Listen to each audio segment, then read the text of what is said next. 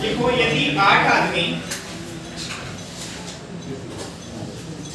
आठ आदमी यदि तीन आदमी या पाँच औरतें यदि तीन आदमी या पाँच औरतें किसी काम को तीन आदमी या पाँच औरतें किसी काम को तीन आदमी पाँच औरतें किसी काम को बारह दिनों में तीन आदमी या पाँच औरतें किसी काम को बारह दिनों में पूरा कर सकती हैं। बारह दिनों में पूरा कर सकते हैं। पूरा बारह दिनों में पूरा कर सकते हैं।